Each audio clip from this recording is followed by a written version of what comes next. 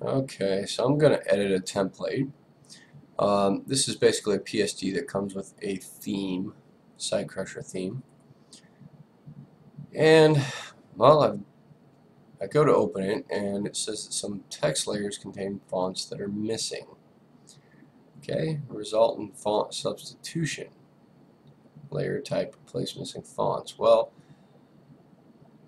I kind of like the way this looks. Now if I go to edit this text in any way, it's going to tell me it's missing. This font does not exist on my computer is what this is telling me. If I say OK, it's going to replace it with the closest possible font, which in this case is Myriad Pro. It's not, however, um, Myriad Pro condensed. Um, it's not the font that we want. Um, if I undo, well, actually, I can't even undo it. Um, so, well, yes, I can. I can say don't. Um, I want to get this font. So let's just look for it. Myriad Pro, bold, condensed. Okay, Myriad Pro, bold, cond.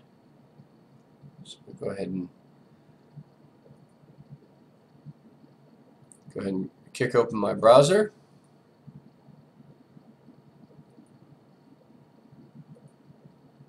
And right off the bat, um, I find it.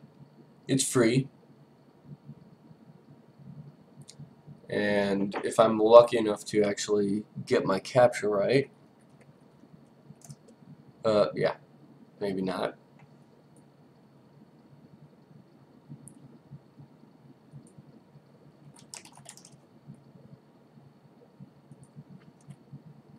Third time's charm, right?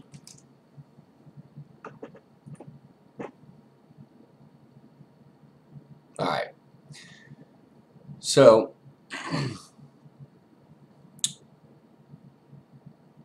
well, I want to open my fonts folder. I'm going to go to um, Start, go to the Control panel, and in the Control panel I want to choose Fonts.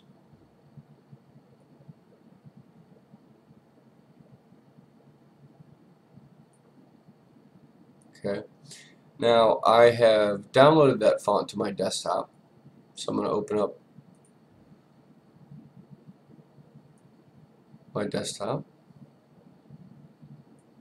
Now I'm grabbing this font here and just just dragging it over into my fonts folder.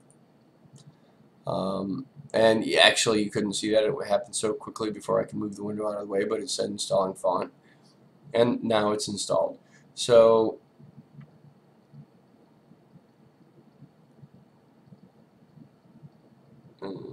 what's it called? Myriad Pro. Bold condensed. Okay. So this is the font that I just installed. Now we can close this. And let's close whoop. Let's close this and reopen it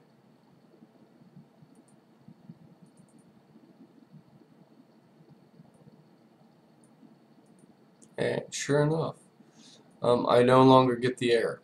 Okay. If I go to my text, I can now select this new font. Correct. Okay. So if you have problems with fonts when you go to open something up and it gives you this error and it says it wants to substitute, and it will if you let it, and if you like the way that the font looks, um, then you don't really need to worry about going out and downloading a new font. But if you want it to be the way that it was intended and you want it to look this way, you want this font, um, typically 95% of the time you can go out and get that font for free, especially if it's in a template that's being provided to you. Um, it's usually a free font. They haven't bought rights. There's no royalties, blah, blah, blah. So you can usually just go out, download the font. You know, be careful about over um, overwhelming yourself with fonts. Don't throw a million fonts into your font folder because trust me, it will slow your machine down. It will cause your machine to boot slower. Um, all those fonts have to load every single time your machine reboots. Um, but you know, so be be frugal about it. But at the same time, get the fonts that you need um, and that you use often. You know, um, Myriad is a really nice font. Uh, you'll you'll see it being used a lot now as as well. So it's kind of popular. But um, anyway, to make a long story short, if you need a font really bad, you can usually just go out and download it. Go to Start, Control Panel, open up the Fonts folder, drag and drop, or right-click and copy and paste into your Fonts folder, and that font will now be on your machine.